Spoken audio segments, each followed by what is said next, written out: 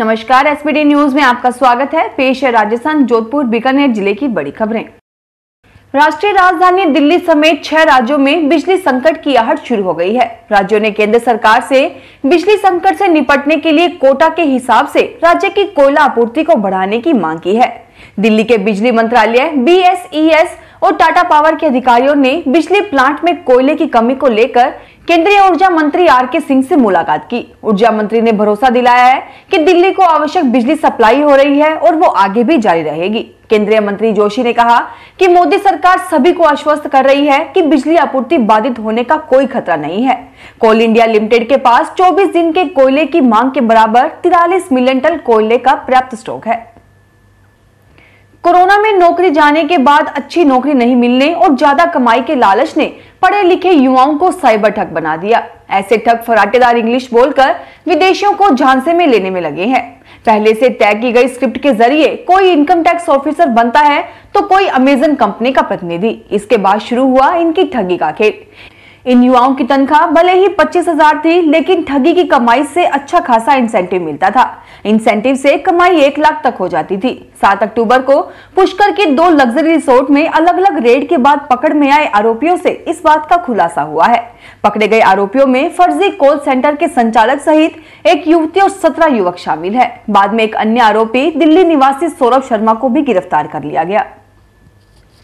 भारतीय रेलवे का सफ़र अब पहले से ज़्यादा सुरक्षित होने जा रहा है। इसकी शुरुआत राजस्थान में उत्तर पश्चिम रेलवे के चारों मंडल की ट्रेनों से होगी। एक ही ट्रैक पर दो ट्रेनों के आने से कई बार हादसे पेश हो चुके हैं, लेकिन अब ऐसा डिवाइस ट्रेनों में लगाया जाएगा, जिसकी वजह से एक ट्रैक पर दो ट्रेनों की आपस में टक्कर नहीं होगी। रेलवे में संरक्षा एवं सुरक्षा सर्वोपरि है। सुरक्षा को प्राथमिकता देते हुए ट्रेनों की आपसी भिड़ंत की घटनाओं को रोकने के लिए भारतीय रेल द्वारा पूर्ण रूप से स्वदेशी प्रणाली टीसीएएस विकसित की गई है। दरियावत में टिकट नहीं मिलने से नाराज़ दिवंगत विधायक गौतम मीणा के पुत्र कन्हैया लाल मीणा ने निर्दलीय नामांकन दाखिल कर दिया था। मगर भाजपा प्रदेश अध्यक्ष सतीश पुनिया व अन्य वरिष्ठ नेताओं के समझाने पर कन्हैया अपना नामांकन वापस लेने को राज़ी हो गए हैं। इसके बाद भाजपा ने उन्हें तोहफा देते हुए प्रदेश कार्यकारिणी में प्रदेश मंत्री बना दिया है। पुनिया ने देर शाम उन्हें इस पद पर नियुक्ति देने के आदेश जारी किए। हालाँकि वल्लभ नगर में अभी तक भाजपा से बागी होकर आरएलपी के चुनाव चिन्ह पर चुनाव लड़ रहे उदयलाल डांगी राज़ी नहीं हो पाए हैं। यहाँ रणधीर भिंडर भी चुनाव मैदान में है। जिसकी वजह से भाजपा की मुश्किलें बढ़ी हुई है। भाजपा ने यहाँ हिम्मत सिंह झाला को मैदान में उतारा है। धौलपुर में सेमपऊ रोड पर लाटखेड़ा हनुमान मंदिर के पास एक खेत में खुले में बने चंबल लिफ्ट परियोजना के पाइप गोदाम में रविवार दोपहर करीब दो बजे आग लग गई। थोड़ी ही देर में आग ने विकराल रूप धारण कर लिया। प्लास्टिक और पीवीसी की पाइपें धू धू कर जलने लगी। कंपनी ने आग से करीब पाँच करोड़ रुपए के नुकसान का प्राथमिक अनुमान लगाया है। सिरोही ज़िले के पिंडवाड़ा वन विभाग की टीम ने रविवार दोपहर वाइल्ड लाइफ एक्ट के तहत कार्रवाई की है। वन विभाग की टीम के पास एक वीडियो पहुँचा जिसमें एक युवक लंगूर के गले में पट्टा बांधकर घूम रहा था। वन विभाग की टीम आरोपी को सर्च कर उस तक जा पहुँची, जिसके कब्जे से लंगूर को मुक्त कराया गया है। आरोपी युवक के खिलाफ पच्चीस हज़ार रूपए का जुर्माना भी लगाया गया है। सिविल सेवा प्रारंभिक परीक्षा 2021 का आयोजन रविवार को देश भर में हुआ। इस परीक्षा के आयोजन को लेकर जोधपुर में 30 सेंटर बनाए गए, जिनमें मात्र 45 फ़ीसदी परीक्षार्थियों ने परीक्षा दी।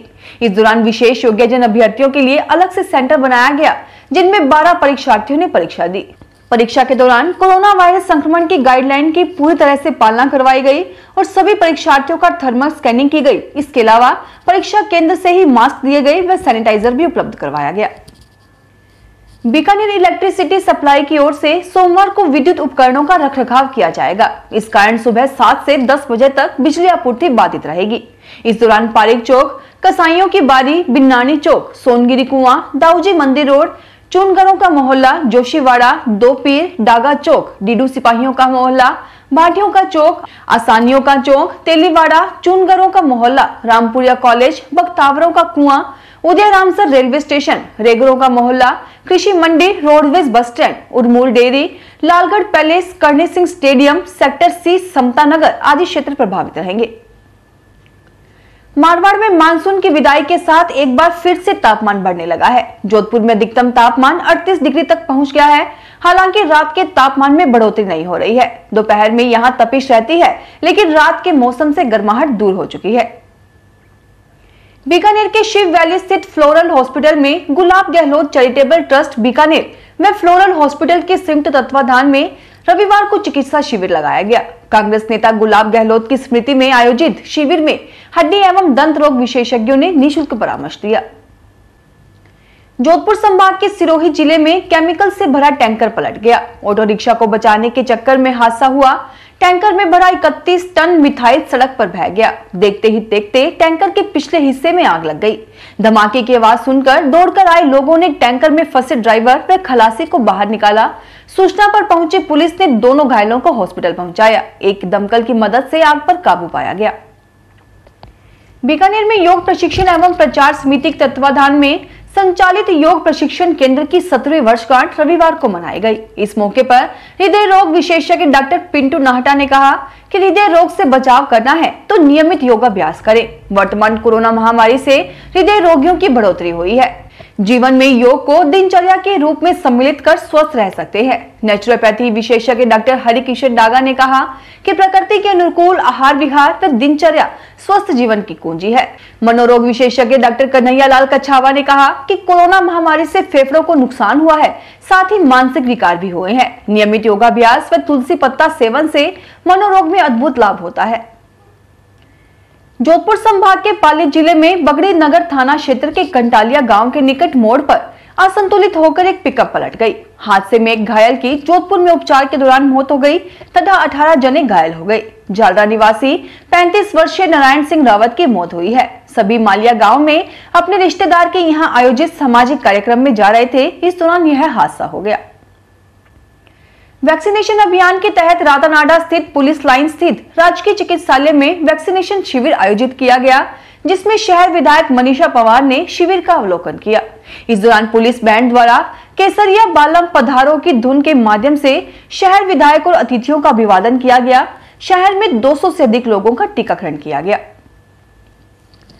पूर्व प्रधानमंत्री स्वर्गीय इंदिरा गांधी की चचेरी बहन दीपा कौल इन दिनों जोधपुर दौरे पर है। वह एक निजी समारोह में हिस्सा लेने जोधपुर आई। इस दौरान उन्होंने लखीमपुर खीरी मामले में बयान देते हुए कहा कि किसानों के साथ गलत हुआ। उन्होंने प्रियंका गांधी की गिरफ्तारी को भी गलत ठहराया। उन्होंने कहा कि प्रियंका शादी समारोह में नहीं गई थी, गरीबों का दर्द बांटने गई थी। उन्हें ऐसे रोकना सही नहीं है। फ़िलहाल इस बुलेटिन में इतना ही। फिर हाजिर होंगे और बड़ी खबरों के साथ। एसबीटी न्यूज़ के वीडियो देखने के लिए हमारे चैनल को सब्सक्राइब करें और नोटिफिकेशन पाने के लिए बेल आइकन को प्रेस करें।